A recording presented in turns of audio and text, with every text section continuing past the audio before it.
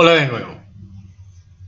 En nuestra función docente muchas veces necesitamos tener unos mecanismos de recolección de tareas, de ejercicios, donde muchas veces la cercanía con el estudiante pues no es posible. Entonces, en los diferentes escenarios blended, pues crear estrategias y mecanismos para la recolección de información, porque muchas veces el correo, mm, por su capacidad, a veces que es muy reducida, entonces aparecen unos nuevos unas nuevas herramientas que nos permiten utilizar espacios en la web y en la nube que nos permiten la recepción de los diferentes trabajos de los estudiantes.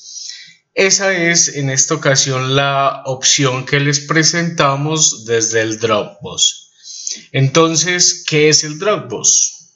Pues es un servicio de almacenamiento en el cual usted como docente, dueño de una cuenta, puede ofrecerle herramientas, textos, a los estudiantes, pero a la vez los estudiantes también pueden subir su material entregable para ser revisado por el docente.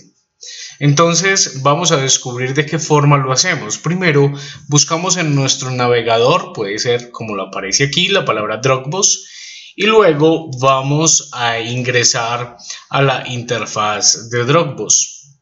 Nos va a decir entonces que tenemos que registrarnos y que necesitamos iniciar sesión. Pero si ya tenemos una cuenta de Gmail, eh, como es mi caso, que ya la tengo por aquí abierta, pues él me va a decir que me registre entonces con ese mismo dominio. Vemos aquí cómo aparece la opción, entonces le doy desde mi cuenta institucional, le digo que lo permita hacer, creo una cuenta para mi usuario, que es, en este caso es instruccional 10.digital, acepto las condiciones y me registro en Dropbox. Va procesando la información y me lleva a una página principal.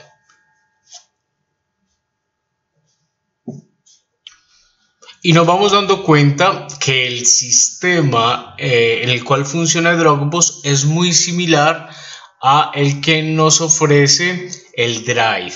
Entonces, en la margen derecha vemos aquí cómo crear un nuevo archivo, subir una carpeta de archivos, subir una carga de carpetas, una, crear una nueva carpeta o hacer una nueva carpeta comprimida.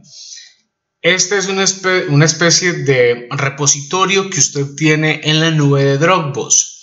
En el caso para el que estamos recomendando utilizar el Dropbox es crear una nueva carpeta compartida en la cual usted le da la opción me gustaría crear y compartir una nueva carpeta o me gustaría compartir y perdón, una carpeta existente. Depende cómo usted lo tenga en su dominio. Como yo no tengo en estos momentos, le doy a esa opción.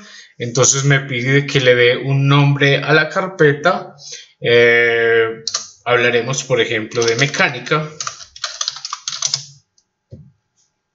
Y el para, entonces nos va a pedir que demos cuál es el contacto para los, las personas que van a ser usuarios de esa misma carpeta.